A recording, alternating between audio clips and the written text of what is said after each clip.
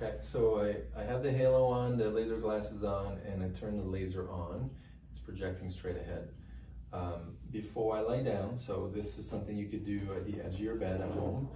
Um, in, in here, we'll do it on the table, but I'm gonna I'm, I'm gonna turn my head left because I'm, I want to do uh, be uh, therapeutic, therapeutically impactful for the left posterior canal. So I'm gonna turn the head left like this at 45 degrees.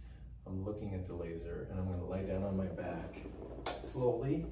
And I want my head to go over the edge here.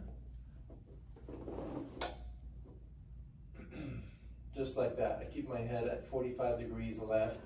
You can see the laser right there uh, on the blinds. And I'm gonna keep looking at it. I'm gonna hold this position for uh, 30 seconds. Now I'm gonna keep moving so that way for demonstration it doesn't take too long. But as I turn my head I'm going to bring it to 45 degrees right.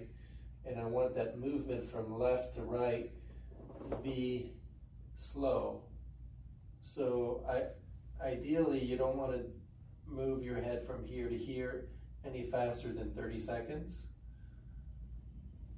But I'm going to go a little faster in this case so once I'm in this position here, laser's right there, and I'm looking at the laser, my head is now 45 degrees right, extended over the edge, and I'm gonna hold that position for 30 seconds. And you can easily go up to a minute, a minute is ideal, but do at least 30 seconds. After I'm here 30 seconds, I'm gonna start turning my body to the right. And now I'm gonna bring my head down, like that, down towards the floor. And so I tuck in my chin and my head is turned to the right. So imagine 45 degrees right and tucked in all the way in. And I'm gonna hold this position for 30 seconds. Uh, again, a minute is ideal. After 30 seconds, you wanna sit back up, but keep looking down. Okay, so Keep looking down, keep that laser right between your feet and hold this position again 30 seconds and up to a minute if you can. That's a minute would be ideal.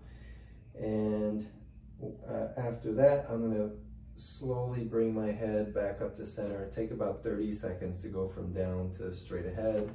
I'm going a little quicker. And you look at the laser the whole time. And then you just hold this position here and you've completed the maneuver.